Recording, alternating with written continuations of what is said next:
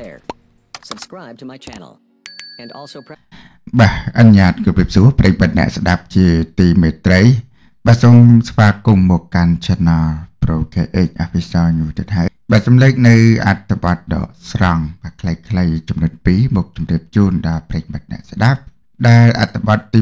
1ជ្រះថ្លាណាស់ក្រោយដោះស្រាយរឿងគ្រួសារជាប់ឯកឧត្តមហ៊ុនជាបានទៅដល់វត្តពុណាឡោបាត់ទៅហើយ ជួបសម្ដេចព្រះសង្ឃរាជទេពវង្សរួចបានប្រាប់ថាបាទប្រាប់ថាយ៉ាងណាទៅបាទប្រិមិត្តបានស្គាល់ហើយ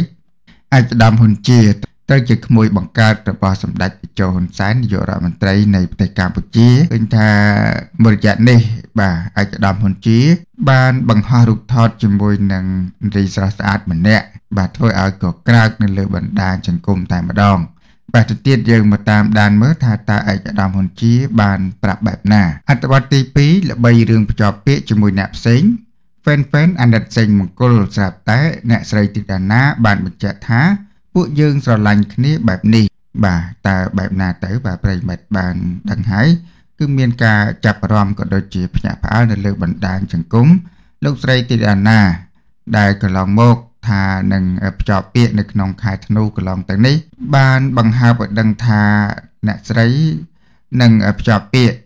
បាទហើយ fan fan ជាច្រើនគិតថាជាលោកសេងមង្គលនោះ គឺមិនមែននោះទេដែលលោកស្រីជាដាណា បានបញ្ជាក់ថាស្រឡាញ់គ្នាបែបនេះនោះទេ បាទតើបែបណាចឹងប្រិមិត្តយើងមកតាមដានលំអិតនៅអត្ថបទទាំងពីរនេះដូចតទៅជ្រះថ្លាណាស់ក្រោយដោះស្រាយរឿង ឯកឧត្តមហ៊ុនជីបានទៅដល់វត្តអនាឡោមបាត់ទៅហើយជួបសម្ដេចព្រះមហាសង្ឃរាជទេពវង្សរួចបានប្រាប់ថាគួររំលឹកឡើងវិញបន្តិចផងដែរថាកាលពីថ្ងៃទី1ខែមករាឆ្នាំ2023ទើបតែកន្លងផុតទៅថ្មីថ្មីនេះសម្ដេចតេជោហ៊ុនសែនផ្ទុះប្រតិកម្មយ៉ាងខ្លាំងក្រោយឃើញលោកហ៊ុនជីបានបង្ហោះរូបភាពជាមួយនឹងស្រីស្អាតម្នាក់នៅក្នុង page Facebook ផ្លូវការរបស់សម្ដេចដោយបានសរសេរថា ល្ងាចមិញនេះឃើញ Facebook ហ៊ុនជាបង្ហោះរូបថតជាមួយស្ត្រីម្នាក់ដែលខ្ញុំចូលទៅសួរតើជាប្រពន្ធហ៊ុនជីឬចជាស្រីហ៊ុនជាពុំមានការឆ្លើយតបណាមួយជាក់លាក់រាប់ទាំងហ៊ុនជាក៏មិនចេញបំភ្លឺដែរដើម្បីដឹងច្បាស់តើជាប្រពន្ធស្របច្បាប់ឬឬក៏ជាស្រីយកប្តីគេខ្ញុំបង្ខំចិត្តប្រើเพจផ្លូវការរបស់ខ្ញុំ ដើម្បីសួរបញ្ជាក់ទៅហ៊ុនជាទៅដឹងច្បាស់ លុះមកដល់ថ្ងៃទី3ខែមករាឆ្នាំ2022សម្ដេចក៏បានបង្ហោះសារមួយទៀតតាក់ទងនឹងលោកហ៊ុនជីដោយបានប្រាប់ថាល្ងាចនេះប្រើពេល2ម៉ោងដើម្បីហាត់វេកូនកូននៅតារាងក្បែរផ្ទះចូលឆ្នាំសកលមិនបានសម្រាកព្រោះមានកម្មវិធីការងារជាមួយនឹងការវាយបានល្អក៏ទទួលបានព័ត៌មានពី Netservern ដែលជាអ្នកសម្របសម្រួលឲ្យប្អូនប្អូនថាហ៊ុនជីនឹងវិលត្រឡប់ទៅនៅជាមួយនឹងភរិយានិងកូនកូនវិញ ខ្ញុំកាន់តែសប្បាយចិត្តដោយឃើញក្មួយក្មួយចេះរួបរวมគ្នាដោះស្រាយបញ្ហាគ្រួសារបានល្អស្រាប់តែមកដល់ថ្ងៃទី5ខែមករាឆ្នាំ2022នេះគេឃើញលោកហ៊ុនជា បានមកដល់វត្តឧណាឡោមជួបជាមួយនឹងសម្ដេចព្រះមហាសង្ឃរាជទេពវង្សរួចបានប្រាប់យ៉ាងខ្លីថាថ្ងៃទី5ខែ1ឆ្នាំ2023ព្រះរាជពិធីចម្រើនអាយុ វឌ្ឍនមង្គល92យើងចូល93ព្រះវស្សាសម្ដេចកតេឧទេសបណ្ឌិតទេពវង្សសម្ដេចព្រះមហាសង្ឃរាជនៃព្រះរាជាណាចក្រកម្ពុជាក្រោយឃើញបែបនេះហើយហ្វេនហ្វេនរបស់ក៏ដូចជាមហាជនទូទៅ បានសម្ដែងអារម្មណ៍ទាំងនេះចេញមកថាសូមជូនពរបងមានសុខភាពល្អកម្លាំងមាំមួន សំណាងល្អមានសេចក្តីសុខនិងជោគជ័យគ្រប់ភារកិច្ចសាធុសាធុបង សូមជូនពរឲ្យបងជួបតែសំណាងល្អនិងហេងហេងជានិច្ចពីខ្ញុំគោរពស្រឡាញ់បងថ្វាយព្រះពរសម្ដេចជាអង្គម្ចាស់មានព្រះសុខភាពបរិបូរណ៍ព្រះជន្មាយុយឺនយូរគង់ជាមលុបត្រជាក់សម្រាប់ពលរដ្ឋកម្ពុជា បាទប្រិញ្ញបិតនេះគឺតកតើងនឹងឯកឧត្តមហ៊ុនជាក្រោយពីបានដោះស្រាយបញ្ហាចប់សពគ្រប់ហើយ ក៏បានមកជួប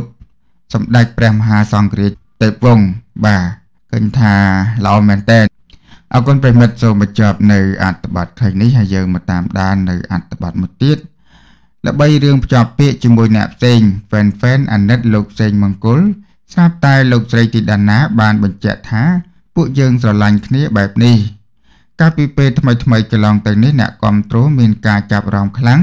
ក្រោយពីលោកស្រីធីតាណា បានក្រុមឈុតកូនក្រមុំហើយប្រាប់ថាថតដាក់មុខរោងដោយសារតែអ្នកនាងត្រូវភ្ជាប់ពាក្យនៅក្នុងខែធ្នូឆ្នាំ2022ហើយត្រូវរៀបការអំឡុងខែមីនាឆ្នាំ2023ក្រោយពីប្រកាសបែបនេះស្រាប់តែចុងខែធ្នូដើមឆ្នាំ2022កន្លងទៅនេះមានការបែកធ្លាយរូបថតប្រមាណចេញពីគេហដ្ឋានអ្នកស្រីធីតាណាក្នុងនោះក៏មានវត្តមានលោកជំទាវជាច្រើនបានចូលរួម ជាពិសេសវត្តមានលោកជំទាវហ៊ុនស៊ីណាតែម្ដងអ្វីកាន់តែចាប់អារម្មណ៍នោះគេសង្កេតឃើញវត្តមានបរិសង្ហាខ្ពស់ស្រឡះម្នាក់ឈរក្បែរអ្នកស្រីចតនាជំចិត្តដោយលោកជំទាវមួយចំនួន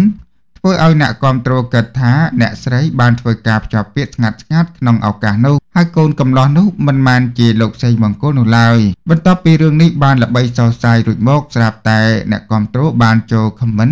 ពេលអ្នកស្រីធីតាណាកំពុងតែ live កាលពីព្រឹកថ្ងៃទី4ខែមករា ឆ្នាំ2023ដោយលើកឡើងថាចែព័រមានផ្ទុះថាចែភ្ជាប់ពាក្យជាមួយអ្នកផ្សេងមិនមែនចេញមង្គលទើប fan អាណិតសេងមង្គល ជាការឆ្លើយតបទៅនឹងខមមិននេះលោកស្រីធីតាណា បានបញ្ជាក់ថា ពួកយើងបានប្រាប់រួចហើយលោកសេងមង្គលនិងពួកយើង បាននិយាយគ្នាអស់ហើយថា ពួកយើងស្រឡាញ់គ្នាបែបលក្ខណៈការងារហើយពួកយើងមានអារម្មណ៍ល្អជាមួយគ្នាញ៉ាំអីជាមួយគ្នា ទើបធ្វើឲ្យបងប្អូនមានការយល់ច្រឡំ